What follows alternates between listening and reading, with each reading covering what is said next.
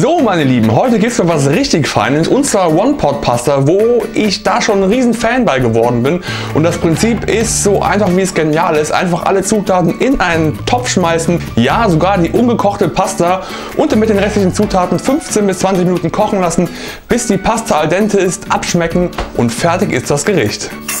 Und los geht's, die Pasta in den Topf geben, mit dem Gemüsefond aufgießen, die Tomaten dazu, die Paprika, die ich vorher schon beschnibbelt habe, dann einen kleinen Schuss Sahne, das Ganze kocht jetzt schon langsam auf, Parmesan dazu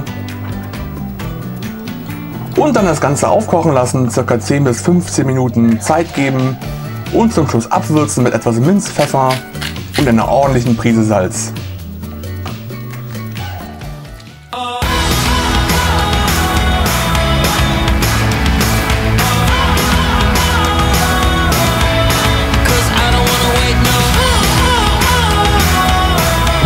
I don't wanna wait Genauso einfach wie das Gericht zu machen ist, genauso lecker ist es auch. Und ich hoffe, ich habe jetzt hier nichts mit Tomate hängen, denn ich habe kein Display, wo ich das kontrollieren kann. Macht es auf jeden Fall nach, es ist super, super einfach zu machen. Es schmeckt einfach fantastisch. Und durch den Minzpfeffer, den ich verwendet habe, wird das Ganze nochmal ein bisschen aufgefrischt und aufgepeppt. Es gibt dem Gericht so eine gewisse Frische, weil da ist Nana-Minz enthalten, die super, super frisch.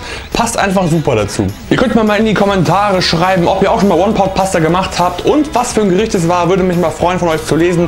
Macht es auf jeden Fall nach, es lohnt sich.